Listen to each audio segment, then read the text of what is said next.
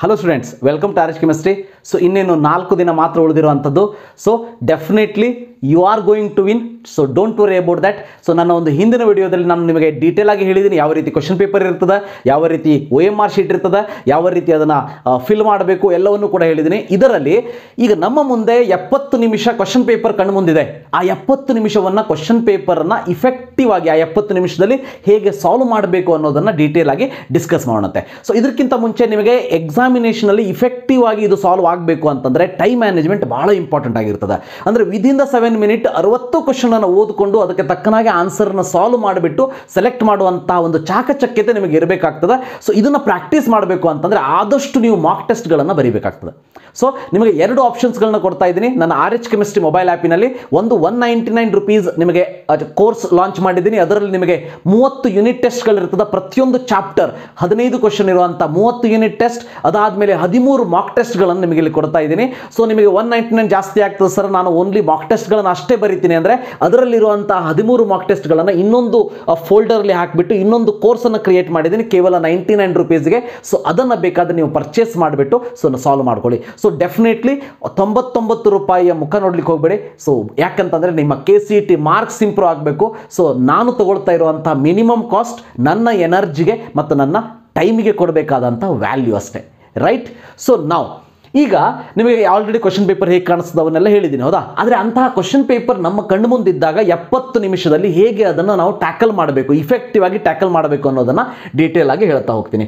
So ಇದರಲ್ಲಿ ಬಹಳ important ಅಂತಂದರೆ ಸಿಕ್ಸ್ಟಿ ಕ್ವಶನ್ಸ್ ಇರ್ತದೆ ಪ್ರತಿ ಸಬ್ಜೆಕ್ಟಿನಲ್ಲಿ ಸೊ ಸೆವೆಂಟಿ ಮಿನಿಟ್ಸ್ ನಿಮಗೆ ಸಿಗ್ತಾ ಇರುವಂಥ ಟೈಮ್ ಸೊ ಟೋಟಲ್ ಆಗಿ ಏಯ್ಟಿ ಮಿನಿಟ್ಸ್ ಕೊಟ್ಟಿರ್ತಾರೆ. ಮೊದಲ ಹತ್ತು ನಿಮಿಷ ನಿಮಗೆ ಒ ಎಂ ಆರ್ ಶೀಟನ್ನು ಫಿಲ್ ಮಾಡೋದರಲ್ಲಿ ಟೈಮನ್ನು ಕೊಟ್ಟಿರ್ತಾರೆ.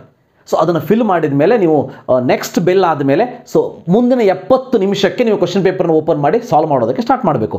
ಅರವತ್ತು ಕ್ವಶನ್ ಎಪ್ಪತ್ತು ಮಿನಿಟು ಇಲ್ಲಿ ನಮಗಿರುವಂಥ ಒಂದು ಅಡ್ವಾಂಟೇಜ್ ಅಥವಾ ನಾವು, ನಾವೇನು ಹೇಳ್ತೀವಿ ಸೈಕಾಲಜಿಕಲ್ ಒಂದು ಸಪೋರ್ಟ್ ಅಂತ ಅಂದರೆ one subject at a time ಇರುವಂಥದ್ದು ಈಗ ನೀಟಲ್ಲಿ ಹಾಗಾಗ್ತಿರ್ಲಿಲ್ಲ.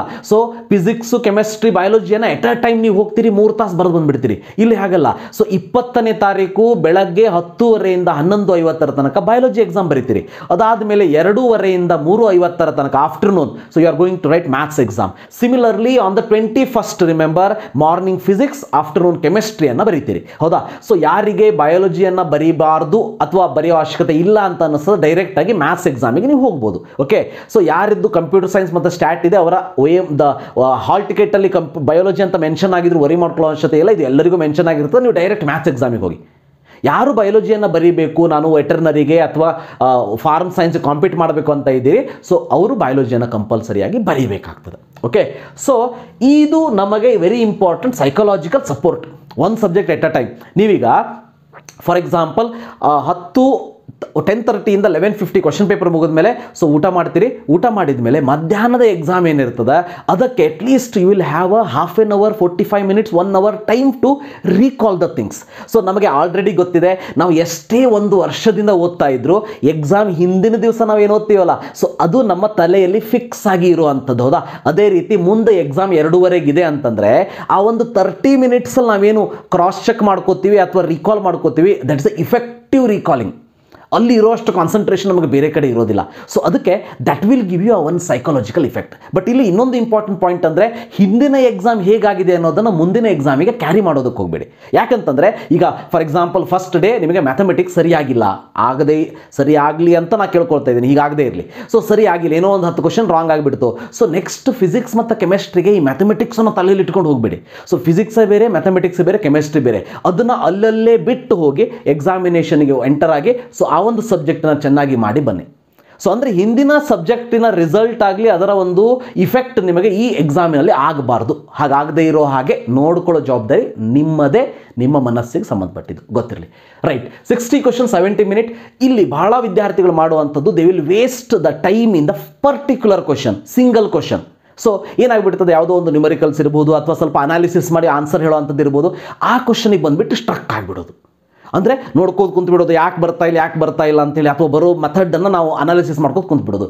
Don't do that don't do that ಬಹಳ important don't waste your single second in the exam hall by taking a time in the particular question ಒಂದು ಕ್ವಶನಲ್ಲಿ ಟೈಮನ್ನು ಜಾಸ್ತಿ ತೊಗೊಂಡ್ರಿ ಅಂದರೆ ದ ಹೋಲ್ ಪೇಪರ್ ಇದರಲ್ಲಿ ಇಫೆಕ್ಟ್ ಆಗ್ತದೆ. ಬಹಳ ಸಾರಿ ಏನು ಮಾಡ್ತೀವಿ ನಾವು? ನಾವು ಎಕ್ಸಾಮಿನ ಹಾಲ್ನಲ್ಲಿ ಕುತ್ಕೊಂಡ್ರು ಕೂಡ ನಮ್ಮ ಹಾಲಲ್ಲಿ ಮೂವತ್ತು ಜನ ಇದ್ದಾರೆ ಅಂದರೆ ಆ ಮೂವತ್ತು ಜನ ಏನು ಮಾಡ್ತಾರೆ ಅಂತೇಳಿ ನಾವು ಅದ್ರ ಅವ್ರ ಬಗ್ಗೆ ತಲೆ ಕೆಡ್ಸ್ಕೊಂಡು ಕೂತ್ಕೋತೀವಿ. ಡೋಂಟ್ ಡೂ ದ್ಯಾಟ್ ಸೊ ನಿಮ್ಮ ಕಾನ್ಸಂಟ್ರೇಷನು ಕ್ವಶನ್ ಪೇಪರ್ ಮೇಲೆ ಒ ಎಂ ಆರ್ ಶೀಟ್ ಮೇಲೆ ಇರಲಿ ಸೊ ಕ್ವಶನ್ ಪೇಪರಲ್ಲಿ ಕೊಡುವಂಥ ಪ್ರತಿಯೊಂದು ಸ್ಟೇಟ್ಮೆಂಟ್ಗಳನ್ನು ಕಾನ್ಸಂಟ್ರೇಷನ್ ಕೊಟ್ಟು ಓದಿ. ಸೊ ಹರಿಬರಿ ಒಳಗೆ ಏನಾಗ್ಬಿಡ್ತದೆ? ಯಾವುದೋ ಒಂದು ನಿಮ್ಮ ನ್ಯೂಮರಿಕಲ್ಸ್ ಇರ್ತದೆ, ಅಲ್ಲಿ ಅದರಲ್ಲಿ ಒನ್ ಪಾಯಿಂಟ್ ಫೈವ್ ಟು ಅಂತ ಇರ್ತದೆ ಒನ್ ಪಾಯಿಂಟ್ ಟೂ ಫೈವ್ನ ಬರೆದು ನ್ಯೂಮರಿಕಲನ್ನು ಮಾಡುವಂಥ ಚಾನ್ಸಸ್ ಇರ್ತದೆ. ಅಂದರೆ ಕನ್ಫ್ಯೂಸ್ ಆಗಿಬಿಟ್ಟು, ಅಂದರೆ ಬರೋದಿಲ್ಲ ಅಂತಲ್ಲ, ಬರ್ತದೆ. ಬಟ್ ಹರಿಬರಿ ಒಳಗೆ ಟೆನ್ಷನ್ ತೊಗೊಂಡು ರಾಂಗ್ ಮಾಡುವಂಥದ್ದು. ಅಥವಾ ಯಾವುದೋ ಒಂದು ಇನ್ಕರೆಕ್ಟ್ ಸ್ಟೇಟ್ಮೆಂಟ್ ಅಂತ ಇರ್ತದೆ ಕರೆಕ್ಟ್ ಸ್ಟೇಟ್ಮೆಂಟಿಗೆ ಮಾರ್ಕ್ ಮಾಡಿ ಬಂದ್ಬಿಡೋದು. ಕರೆಕ್ಟ್ ಸ್ಟೇಟ್ಮೆಂಟ್ ಅಂತ ಇರ್ತದೆ ಇನ್ಕರೆಕ್ಟ್ ಸ್ಟೇಟ್ಮೆಂಟಿಗೆ ಮಾರ್ಕ್ ಮಾಡಿ ಬಂದ್ಬಿಡೋದು. ಸೊ ಇಂಥ ಮಿಸ್ಟೇಕ್ಸ್ಗಳು ಯಾಕೆ ಆಗ್ತದೆ ಅಂತಂದರೆ ಸೊ ನಾವು ಕಾನ್ಸಂಟ್ರೇಷನ್ ಅಥವಾ ಫೋಕಸ್ಸನ್ನು ನಮ್ಮ ಎಕ್ಸಾಮಿನಲ್ಲಿ ಇಡದೇ ಇರುವಂಥದ್ದು. ಸೊ ಆ ಒಂದು ಸಿಕ್ಸ್ಟಿ ಕ್ವಶನ್ಗೆ ಕೊಡುವಂಥ ಸೆವೆಂಟಿ ಮಿನಿಟ್ಸ್ ಏನಿದೆ, ಅದು ನಿಮ್ಮ ಜೀವನದ ಬೆಸ್ಟ್ ಸೆವೆಂಟಿ ಮಿನಿಟ್ಸ್ ಆಗಿರಲಿ. ಸೊ ಆ ಒಂದು ಬೆಸ್ಟ್ ಸೆವೆಂಟಿ ಮಿನಿಟ್ಸನ್ನು ಅಲ್ಲಿ ಕೊಡಿ. ಅಲ್ಲಿ ಕಾನ್ಸಂಟ್ರೇಷನ್ ಕೊಡಿ. So definitely you are going to do well in your exams remember so don't waste the time in the particular single question and don't waste a single second in seeing that side this side invigilator ಏನು ಮಾಡ್ಲಿಕ್ಕತ್ತಾರ ಅವ್ರು ಯಾರಿಗೋ ಏನೋ ತಪ್ಪಾಗಿರ್ತದೆ, ಬೈಲಿಕತ್ತಿರ್ತಾರೆ ಅಥವಾ ಅವ್ರದ್ದೇನು mistake ಮಾಡಿರ್ತಾರೆ ಅದು ನೋಡ್ಕೋತ ಕುಂತು ಬಿಡೋದು. ಡೋಂಟ್ ಡೂ ದ್ಯಾಟ್ ನಿಮ್ಮ ಟೈಮ್ ಹೇಳಿದ್ನಲ್ಲ best of your seventy minutes of your life you are putting here so that is why so don't do any mistake in that case so ಇನ್ನು ಯಾವ ರೀತಿ ಕ್ವಶನ್ ಪೇಪರ್ ಸಾಲ್ವ್ ಮಾಡಬೇಕು? ಇದು ನನ್ನ effective theory ನಾನು ಇದನ್ನು follow ಮಾಡಿದ್ದು, ನಾನು ಯಾವುದೇ ಒಂದು ಕಾಂಪಿಟೇಟಿವ್ ಎಕ್ಸಾಮನ್ನು ಬರೆಯೋದಕ್ಕೆ ಹೋದಾಗ. ನೀಟ್ ಎಕ್ಸಾಮಿನೇಷನ್ಲು ಕೂಡ ಇದನ್ನೇ ಹೇಳಿದ್ದೆ. ಅದನ್ನೇ ಇಲ್ಲಿ ಇನ್ನೊಂದ್ಸಲ ರಿಪೀಟ್ ಮಾಡ್ತಾ ಇದ್ದೀನಿ.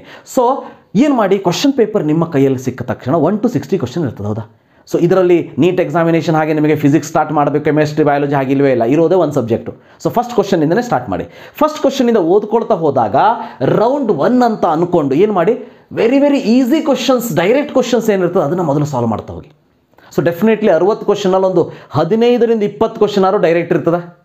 ಆ ಡೈರೆಕ್ಟ್ ಕ್ವಶನನ್ನು ಸಾಲ್ವ್ ಮಾಡ್ಕೊಂಡ್ಬಿಡಿ. ಸೊ ಫಸ್ಟ್ ರೌಂಡಲ್ಲಿ ಒಂದು ಇಪ್ಪತ್ತು ಕ್ವಶನ್ ಆಗಿಬಿಡ್ತದೆ.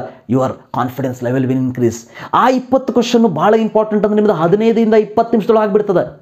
ಹದಿನೈದು ನಿಮಿಷದೊಳಗೆ ಆಗಿಬಿಡ್ತದೆ ಅಂತ ಅಂದ್ಕೊಳ್ಳಿ ಸೊ ಯಾಕಂದರೆ ಡೈರೆಕ್ಟ್ ಕ್ವಶನ್ ಇತ್ತು. ಈಗ what is the common oxidation state for lanthanides ಅಂತ ಇತ್ತು. ಪ್ಲಸ್ ತ್ರೀ ಹೌದಾ? ಆ ಪ್ಲಸ್ ತ್ರೀಯನ್ನು ಸೆಲೆಕ್ಟ್ ಮಾಡ್ತೀರಿ ಮುಂದೆ ಹೋಗ್ತೀರಿ ಮಾಡ್ತೀರಿ ಮುಂದೆ ಹೋಗ್ತೀರಿ ಅಂದರೆ, ಆ ಒಂದು ಡೈರೆಕ್ಟ್ ಕ್ವಶನನ್ನು ಅಟೆಂಪ್ಟ್ ಮಾಡೋದಕ್ಕೆ ನಿಮಗೆ ಬೇಕಾಗಿರುವಂಥ ಟೈಮ್ ಏನಂತಂದರೆ thirty seconds maximum forty seconds but ಅದೇ ಏನಾದರೂ ಫಸ್ಟ್ ಕ್ವಶನ್ ಡಿಫಿಕಲ್ಟ್ ಬಂದಿತ್ತು.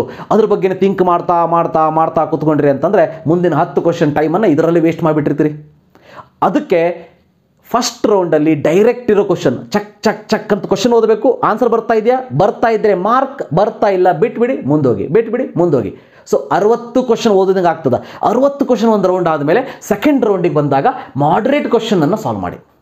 ಮಾಡ್ರೇಟ್ ಕ್ವಶನ್ ಸ್ವಲ್ಪ time consuming so incorrect statement correct statement assertion reason statement type match the following ಇಂಥವೇನಾದರೂ ಇತ್ತಂದರೆ ಮಾಡ್ರೇಟ್ ಕ್ವಶನ್ಸ್ ಇನ್ನು ರೌಂಡ್ ತ್ರೀಯಲ್ಲಿ ರೌಂಡ್ ತ್ರೀಯಲ್ಲಿ ಡಿಫಿಕಲ್ಟ್ ಕ್ವಶನ್ಗಳನ್ನ ಟ್ರೈ ಮಾಡಿ. ಸೊ ಡಿಫಿಕಲ್ಟ್ ಕ್ವಶನ್ ಅಂದ್ರೇನು ಸೊ ಯಾವುದೋ ಒಂದು ನ್ಯೂಮರಿಕಲ್ಸ್ ಇರ್ತದೆ, ಅದಕ್ಕೆ ಫಾರ್ಮುಲಾ ಬರೆದು ಸಬ್ಸ್ಟಿಟ್ಯೂಷನ್ ಮಾಡಿ. ಸೊ ಅದನ್ನು ಸಿಂಪ್ಲಿಫೈ ಮಾಡೋದಕ್ಕೆ ಟೈಮ್ ಬೇಕು ನಮಗೆ. ಮ್ಯಾಥಮೆಟಿಕ್ಸ್ ಸಿಂಪ್ಲಿಫಿಕೇಷನ್ಗೆ ಟೈಮ್ ಬೇಕು. ಆವಾಗ ಏನು ಮಾಡಿ? ಅದನ್ನು ರೌಂಡ್ ತ್ರೀಗೆ ಇಟ್ಕೊಳ್ಳಿ. So round three organic chemistry ಯಾವುದೋ ಒಂದು ಸೀರೀಸ್ ಆಫ್ ರಿಯಾಕ್ಷನ್ ಕೊಟ್ಟಿದ್ರು. A react with H C L B react with Z N C L two ಅಂತೇಳಿ. ಆವಾಗ ಅದಕ್ಕೆ ಸ್ವಲ್ಪ ಟೈಮ್ ಬೇಕು. ಥಿಂಕ್ ಮಾಡಬೇಕು. ಹೌದಾ? ಇಮ್ಮಿಡಿಯೇಟಾಗಿ ಅದು ಹೊಳೆಯೋದಿಲ್ಲ. ಅದನ್ನು ರೌಂಡ್ ತ್ರೀದಲ್ಲಿ ಇಟ್ಕೊಳ್ಳಿ.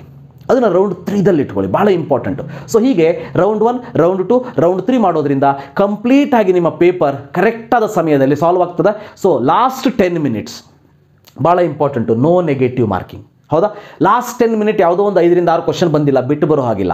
ಪ್ರತಿಯೊಂದನ್ನು ಮಾರ್ಕ್ ಮಾಡಿನೇ ಬರೀ ನಿಮ್ಗೆ ಯಾವ್ದು ಅನಿಸ್ತದೆ ಎ ಬಿ ಸಿ ಡಿ ಒಳಗೆ ಯಾವುದು ಚಂದ ಅನಿಸ್ತದೆ, ಅದನ್ನು ಮಾರ್ಕ್ ಮಾಡಿ ಬನ್ನಿ. ಆದರೆ ಕ್ವಶನ್ ಪೇಪರ್ ಬಿಟ್ಟು ಬರೋಕ್ಕೆ ಹೋಗ್ಬೇಡಿ. ಕ್ವಶನನ್ನು ಯಾವುದೇ ಬಿಟ್ಟು ಬರೋಕ್ಕೆ ಹೋಗಬೇಡಿ. So very important point so final ಆಗಿ ಟೆನ್ ಮಿನಿಟ್ಸ್ ಇದ್ದಾಗ ಒ ಎಂ ಆರ್ ಶೀಟನ್ನು ಫಿಲ್ ಮಾಡ್ಕೊಳ್ಳಿ.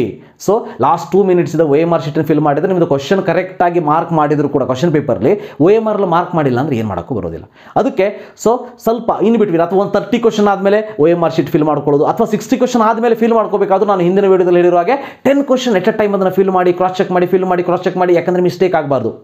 ಸೊ ಇದನ್ನು ನಿಮಗೆ ಮಾಡೋದಕ್ಕೆ ಸೆವೆಂಟಿ ಮಿನಿಟ್ಸ್ ಟೈಮ್ ಕೊಟ್ಟಿರ್ತಾರೆ. ಸಿಕ್ಸ್ಟಿ ಕ್ವಶನ್ಸ್ ನಿಮ್ಮ ಕೈಲಿರ್ತದೆ and that sixty questions are going to decide your next college ಅದಕ್ಕೆ ನಿಮ್ಮ ಬೆಸ್ಟ್ ಲೈಫಿನ ಬೆಸ್ಟ್ ಸೆವೆಂಟಿ ಮಿನಿಟ್ಸನ್ನು ಅಲ್ಲಿ ಹಾಕ್ತಾ ಇದ್ದೀರಿ. ಸೊ ಆ ಒಂದು ಸೆವೆಂಟಿ ಮಿನಿಟ್ಸ್ ಏನಿದೆ, ಪ್ರತಿಯೊಂದು ಸೆಕೆಂಡು ಕೂಡ ಅದರಲ್ಲಿರುವಂಥ ಪ್ರತಿಯೊಂದು ಸೆಕೆಂಡು ಕೂಡ ನಿಮಗೆ ಯುಟಿಲೈಸ್ ಆಗಲಿ, ನಿಮ್ಮ ಪೇಪರ್ ಸಿಂಪಲ್ ಆಗಿ ಬರಲಿ ಎಕ್ಸಾಮ್ ಮುಗಿದು ಹೊರಗೆ ಬರ್ತಾ ನಿಮ್ಮೆಲ್ಲರ ಮುಖದಲ್ಲಿ ನಗು ಇರಲಿ, ಆ ನಗು ನಿಮಗೆ ಹೇಳ್ತಾ ಇರಲಿ, ಗೆಲುವು ನಿನ್ನದೇ ಅಂಥೇಳಿ. ಡೆಫಿನೆಟ್ಲಿ ಗೆಲುವು ನಿಮ್ಮದೇ ಆಗ್ತದೆ. Don't worry about that serious ಆಗಿ ಕಾನ್ಫಿಡೆನ್ಸ್ ಇಟ್ಕೊಂಡು ಎಕ್ಸಾಮ್ ಹಾಲ್ ಒಳಗೆ ಹೋಗಿ ಗೆಲುವು ನಿಮ್ಮದೇ. Thank you for watching have a nice day